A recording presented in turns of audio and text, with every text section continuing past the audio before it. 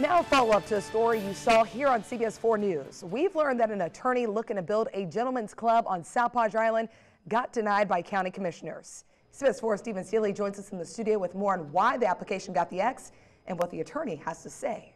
Well, Nicole, back in 2009, attorney Larry Polsky purchased about an acre and a half of beachfront property. The idea was and still is to build a sexually oriented establishment. On Tuesday, the Cameron County Commissioner's Court shut down his application to start his business. Polsky says his fight is far from over.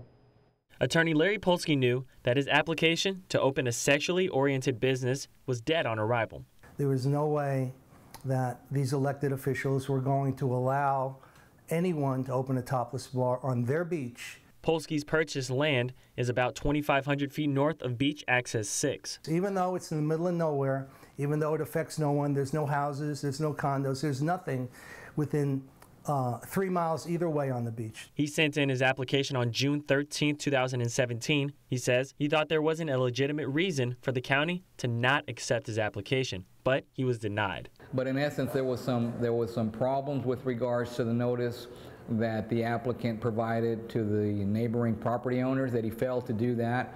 According to county documents, it states that sexually oriented businesses pose a large public safety hazard. In addition, Judge Trevino cited the Texas Open Beaches Act, stating it will not allow anything to hinder public accesses to the beach. September the 8th, uh, 2017, they made a finding, and the finding was that the public beach in front of Mr. Polsky's property is a public park. There has never been a case or a statute in Texas that stated that the public beach is a public park. The reason that causes a problem for Polsky is he can't open his establishment within 1,500 feet of a public park. Because of this, he decided to file a takings lawsuit against Cameron County.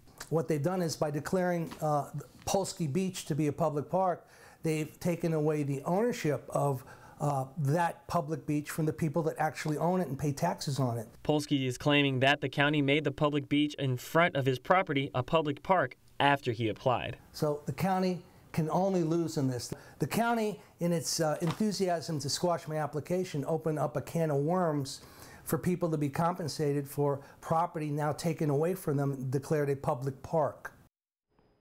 Tomorrow, Polsky is filing a notice of appeal for the denial of his application. He says if he loses the appeal, then he wins on his takings claim. In the studio with complete Valley coverage, Stephen Seely, CBS 4 Valley, tonight.